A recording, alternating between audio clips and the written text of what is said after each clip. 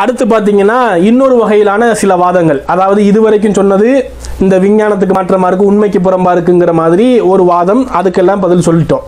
அடுத்து ரெண்டாவது வகையில் சில வாதங்கள் எப்படி வைக்கிறாருன்னா ஈ வந்து அருவறுப்பானது ஈ வந்து தீங்கு செய்யக்கூடியது கெட்டது. இந்த மாதிரி ஒரு அருவறுப்பான கெட்ட விஷயத்தை எல்லாம் ரசூல்லா சொல்ல மாட்டாங்க.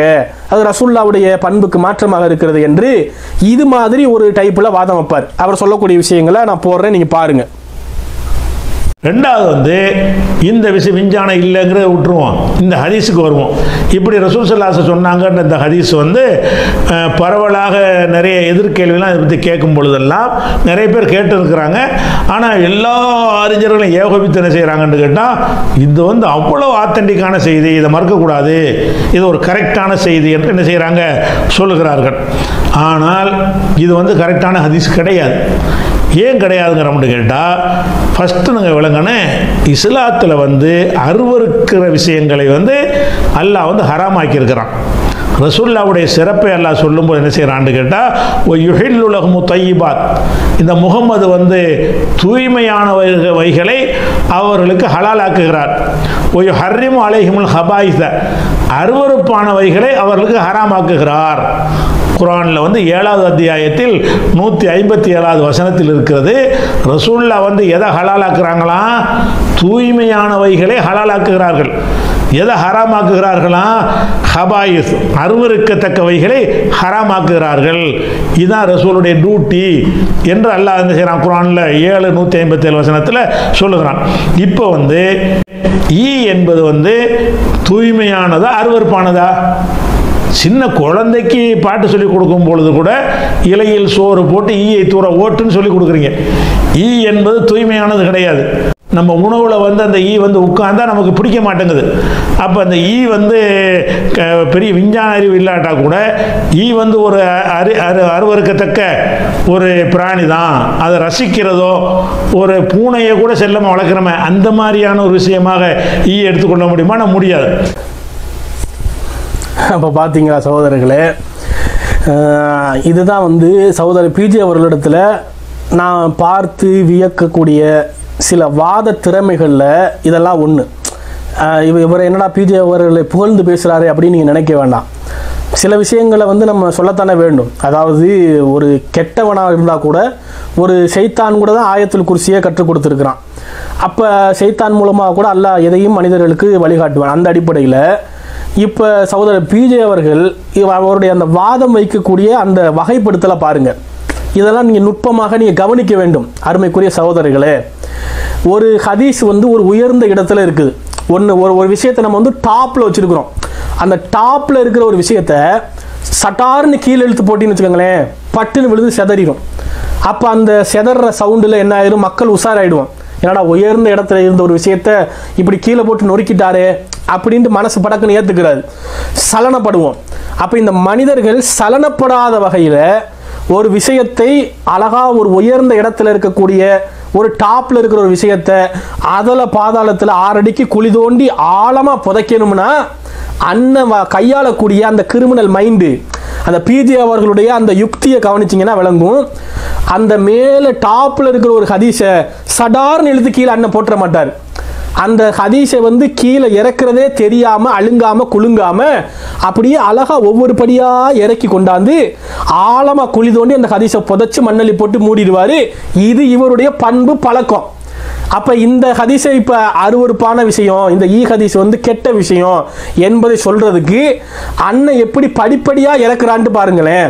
அப்போ முதல்ல என்ன பண்ணுறாரு குரானுடைய ஏழு நூத்தி ஐம்பத்தேழாவது வசனத்தை சொல்கிறார் ரசூல்லாவுடைய பண்புகளை பற்றி அல்லாஹ் அந்த ஆயத்தில் சொல்லுவான். அது ஒரு பெரிய ஒரு வசனம். இது மாதிரி இந்த நபி வந்து ஒரு உம்மி நபி எழுத படிக்க தெரியாதவர் இவரை நான் நபியை அனுப்பியிருக்கிறேன் இவர் நன்மையை ஏவுறார் தீமையை தடுக்கிறார் என்றெல்லாம் ரசூல்லாவுடைய குணாதிசயங்களை அப்படியே அல்லாஹ் அந்த வசனத்தில் ஏழு நூத்தி ஐம்பத்தி ஏழுல சொல்லிக்கிட்டே வாரான்.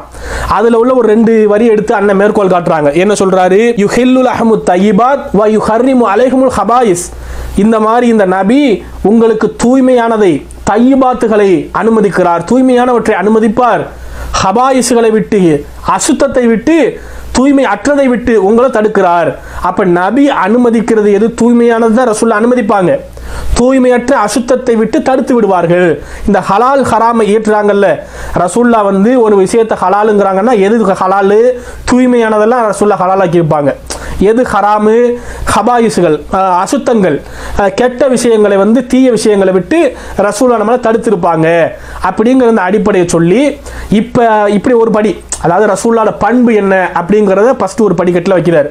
தூய்மையானவைகளை ஹலாலாக்குகிறார்கள். எதை ஹராமாக்குகிறார்களா? ஹபாயிஸ் அருவருக்கத்தக்கவைகளை ஹராமாக்குகிறார்கள். இதுதான் ரசூலுடைய டியூட்டி என்று அல்லாஹ் வந்து செய்கிறான்? குரானில் ஏழு நூற்றி ஐம்பத்தேழு வசனத்தில் சொல்லுகிறான். இப்போ வந்து ஈ என்பது வந்து தூய்மையானதா அருவருப்பானதா?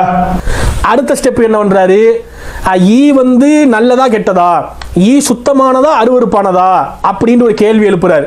எழுப்பிட்டு அதுக்கு அண்ணன் என்ன ஆதாரம் காட்டுறாருன்னா அம்மா இங்கே வா வா. ஆசை முத்தம் தாத்தா இலையில் சோறு போட்டு ஈயை தூர ஓட்டு அப்படின்னு நம்ம குழந்தைங்களுக்கு நர்சரி பிள்ளைங்களுக்கு போயம் சொல்லி பா பாட்டு சொல்லி கொடுக்குறோம். அப்போ நம்ம இந்த பிள்ளைங்களுக்கு சொல்லி கொடுக்குற பாட்டு எப்படி இருக்குது? இலையில் சோத்தை போட்டு ஈயை தூர ஓட்டுன்னு இருக்குது. சின்ன குழந்தைக்கு பாட்டு சொல்லி கொடுக்கும் பொழுது கூட இலையில் சோறு போட்டு ஈயை தூர ஓட்டுன்னு சொல்லி கொடுக்குறீங்க. ஈ என்பது தூய்மையானது கிடையாது. அப்ப ஈயை வந்து தூர ஓட்டணும். உணவுப் பொருள்ல ஈ விழுந்துட்டால் அதை நம்ம ஒத்துக்க மாட்டோம். அதை எடுத்துக்கிற மாட்டோம். அதனால என்ன? ஈ வந்து அருவருப்பானது என்றுதான் நமக்கு சிறு பிள்ளையிலிருந்தே கற்பிக்கப்படுகிறது என்று அடுத்த ஒரு படி. எப்படி அவருடைய அந்த கிரிமினல் மைண்டை பார்த்தீங்களா இந்த மைண்ட் இம்பிட்டு புத்தி இருக்குது நல்ல வழியில செலவழிக்கலாம்ல. மக்களை நாலு விஷயத்தை சொல்லி நல்வழிப்படுத்தலாம்ல. ஒரு ஹதீஸை குட்டிச்சவராக்கிறதுக்கு ஒரு நல்ல ஹதீஸை மண்ணலி போட்டு மூடுறதுக்கு அந்த கிரிமினல் மூளை எப்படியெல்லாம் வேலை செய்து பார்த்தீங்களா? சுபஹானல்லா. எப்படிப்பட்ட ஒரு வழிகாட்டு சிந்தனையை இவருக்கு அல்லாஹ் கொடுத்துருக்கிறான்னு பார்த்தீங்களா? அப்போ வந்து முதல்ல ரசூல்லா அனுமதிக்கிறதெல்லாம் ரசூல்லா தூய்மையானதை அனுமதிப்பார்கள். அசுத்தத்தை விட்டு தடுத்து விடுவார்கள். இந்த ஈ சுத்தமானதா அசுத்தமானதா? ஈ வந்து அசுத்தமானது. அதுக்கு என்ன ஆதாரம்னா இலையில சோற போட்டு ஈய தூர ஓட்டுன்னு பிள்ளைங்களுக்கு சொல்லி கொடுக்குறாங்க. அப்ப அடுத்த ஸ்டெப் இருக்கிறாரு அடுத்து என்ன சொல்றாரு?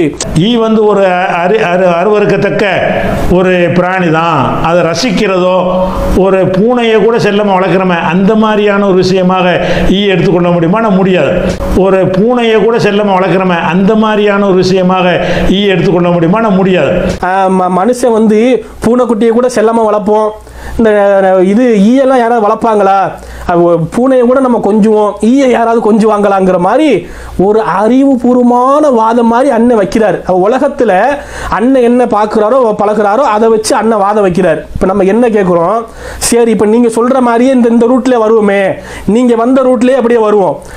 பிள்ளைங்களுக்கு வந்து ஈயை வந்து அசுத்தம்னு சொல்லி கொடுக்குறோம். இலையில சோற போட்டு ஈயை தூர ஓட்டுன்னு சொல்லி கொடுக்குறோம்.